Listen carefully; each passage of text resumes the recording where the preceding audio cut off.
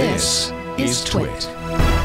What Free Code Camp is really trying to solve for is just busy people who want to learn to code so that they can steer their career in a more technical direction. And it's really focused on that adults uh, who are already out of school uh, or are working full time or who have kids who have a lot of responsibilities who want to be able to learn in a way that's very time efficient and convenient. And so Free Code Camp is completely free. It's socioeconomically need blind, as they would say. Um, you don't have to have a credit card or anything. You just go there and you can start working through interactive coding challenges at your own convenience. And if it takes you six months to earn a certification, great. If it takes you two years to earn a certification, that happens to people too. Uh, the point is that it's a proven way to steer your career in a more technical direction, and thousands of people are getting developer jobs every year that are coming out of the free code camp community and I just want to emphasize something that you just brought up and I hadn't thought about is that this is self-paced. I can do it when I've got an hour in an evening, you know, around my busy schedule. I can do uh, the, the, I did the first five lessons and each lesson only took me maybe 30 seconds. So it seems to be in very small divisible parts so I can just scale it to my own free time. Is that accurate to say it that way? Yeah, absolutely. I when I designed the initial curriculum a big part of that was trying to make everything small enough chunks that people could sit down and make some amount of progress, even if they only had 15 or 20 minutes. And so, how did the original curriculum come about? Is that something you just started from scratch and said, here's what I want to do?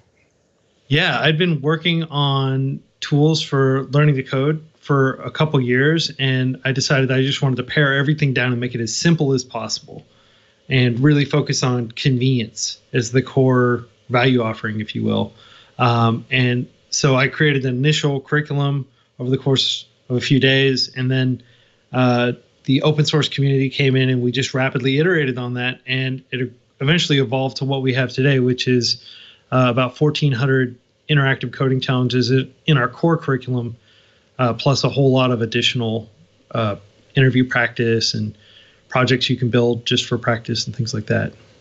So are the are these are these courses, uh, the curriculum stuff? Is that in some open source repository? Yes, everything's open source. It's if you just go to github.com slash freecodecamp slash freecodecamp. Wow. Okay. And what, how many different contributors do you think you have at this point?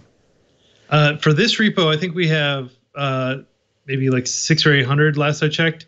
For wow. all the different repos, we've got uh, more than a thousand unique contributors. I'm guessing also that the website itself is um, one of the other repos, right? That's correct. So learn.freecodecamp.org. Uh, if you go to freecode or github.com slash freecodecamp slash learn, that's the actual curriculum uh, and the learning uh, interface, like the learning platform. And uh-huh. the curriculum is a separate repo that we bundle on npm, uh, and so anybody can require the entire free code camp curriculum as a dependency on their project. So, if they wanted to hypothetically build like a, a, mobile client or if they wanted to fork free code camp, it's as easy as including an npm package. Was are there a technology behind free code camp um, useful for other other content sort of things? I mean, if you wanted to build one that's about uh, uh, racing motorcycles, could would this still be useful for that?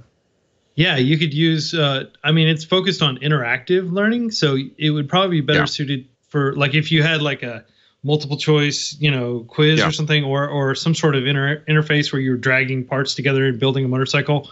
Um, those kinds of things might be possible on our learning management uh, system.